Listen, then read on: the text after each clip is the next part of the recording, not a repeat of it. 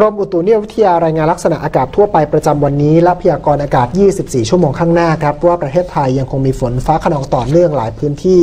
กับมีฝนตกหนักบางแห่งบริเวณภาคเหนือ ภาคตะวันออก ภาคกลาง รวมทั้งกรุงเทพมหานครและปริมณฑลและภาคใต้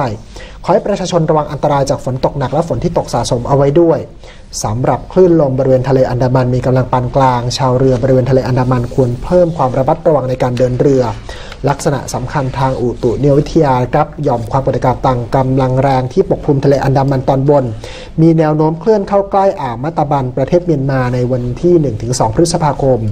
ประกอบกับมีลมใต้และลมตอนออกเฉียงใต้พัดปกคลุมภาคตอนออกเฉียงเหนือภาคกลางและภาคตอนออก ลักษณะเช่นนี้จะทำให้ประเทศไทยยังคงมีฝนฟ้าขนองเกิดขึ้นต่อเนื่องหลายพื้นที่ กับมีฝนตกหนักบางแห่ง สำหรับภาคเหนือกับมีเมฆมากกับมีฝนฟ้าขนองร้อยละ 60 ของพื้นที่